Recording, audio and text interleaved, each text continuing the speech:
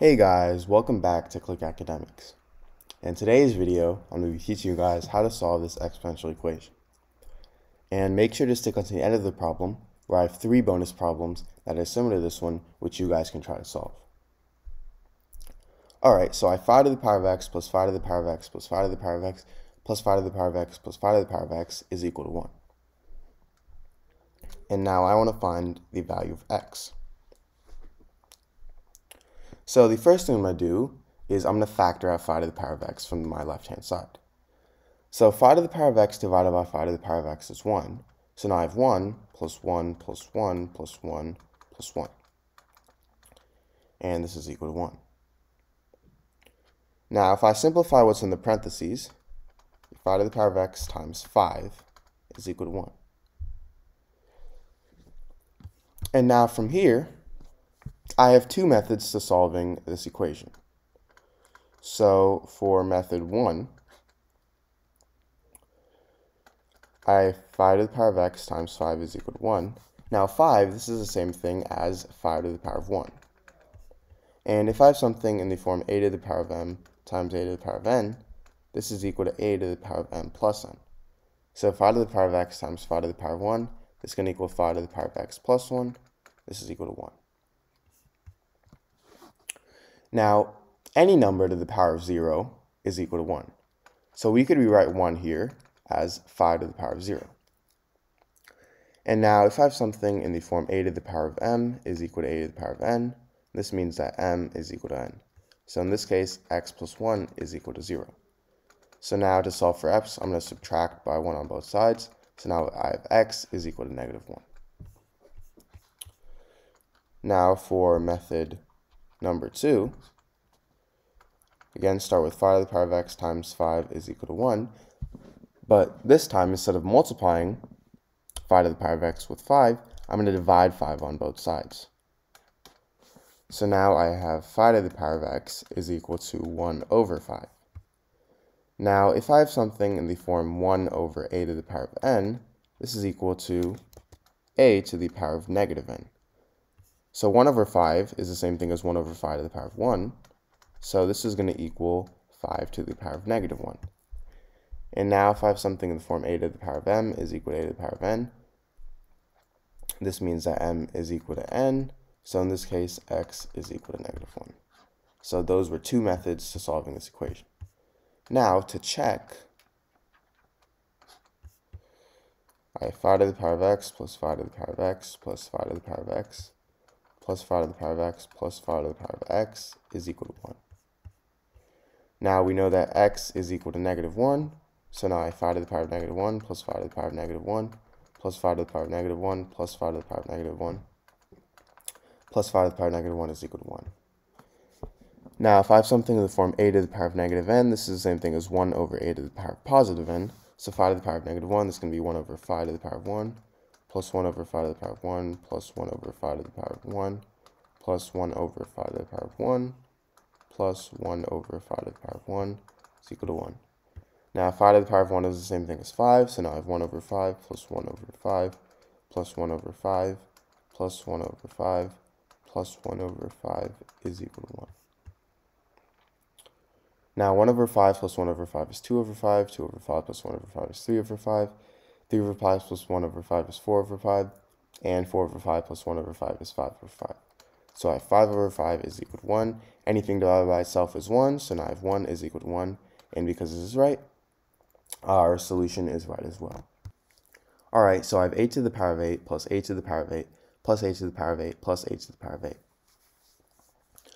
So I actually have four answer choices for this problem. Answer choice A, this is 32 to the power of 8. Answer choice B, this is 8 to the power of 32. Answer choice C, this is 32 to the power of 32. And finally, answer choice D, this is 2 to the power of 26. So now let's go ahead and go through all these answer choices. So for answer choice A, how you get 32 to the power of 8 is you simply add all the bases together and keep the exponent the same. So I have 8 plus 8 plus 8 plus 8 to the power of 8. Now 8 plus 8 is 16, 16 plus 8 is 24, 24 plus 8 is 32. So I have 32 to the power of 8. And this method is actually wrong. You can't add exponents like that. You can't simply just add all the bases and keep the exponents. So now for answer choice B, we have 8 to the power of 32. And how you get this answer is you keep the base the same and you add all the exponents.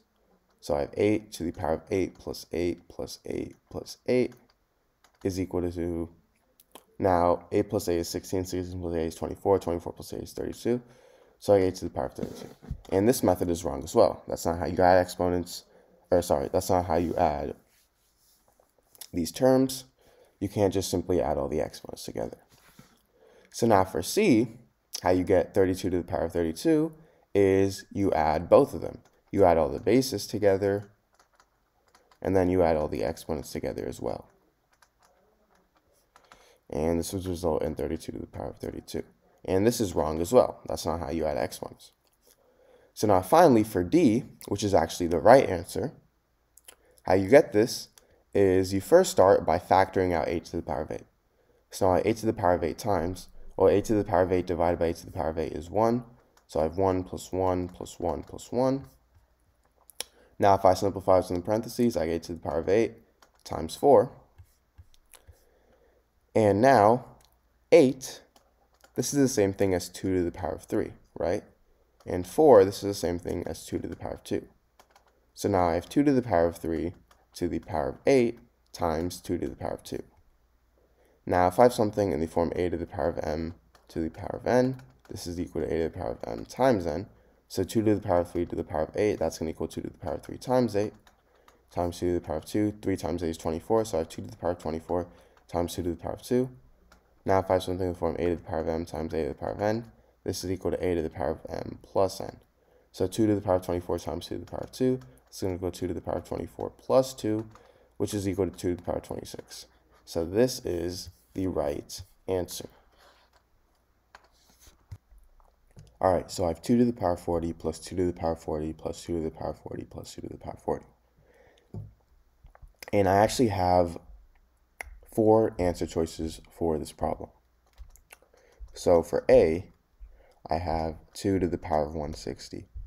For B, I have 8 to the power of 40. For C, I have 2 to the power of 42. And for D, I have 2 to the power of 21. All right, let's go through all these answer choices. So for A, how they got 2 to the power of 160 was you keep the base the same, and then you simply add all the exponents. So you do 2 to the power of 40 plus 40 plus 40 plus 40. And 40 plus 40 is 80, 80 plus 40 is 120, 120 plus 40 is 160. So you have 2 to the power of 160. And this method is actually wrong because that's not the right way to add exponents. Now let's try out b. b is 8 to the power of 40. How you get this is you you keep the exponent of the same and you simply add the bases. So you do 2 plus 2 plus 2 plus 2 to the power of 40. 2 plus 2 is 4, 4 plus 2 is 6, 6 plus 2 is 8, so you have 8 to the power of 40. And this method is also wrong because that is not the right way to add exponents. You can't simply add the bases all together. Now for C,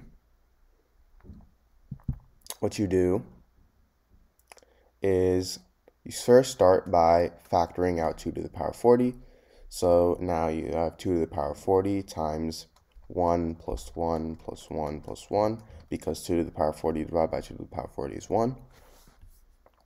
Now, by simplifying with parentheses, 2 to the power 40 times 1 plus 1 is 2, 2 plus 1 is 3, 3 plus 1 is 4. so I have 2 to the power 40 times 4. Now 4, this is the same thing as 2 squared. So now I have 2 to the power of 40 times 2 squared. And now if I have something in the form a to the power of m times a to the power of n, this is equal to a to the power of m plus n. So 2 to the power of 40 times 2 to the power of 2 is going to equal 2 to the power of 40 plus 2. And 40 plus 2 is 42, so I have 2 to the power of 42. And this is actually the right way of adding these four terms. So this C is my answer.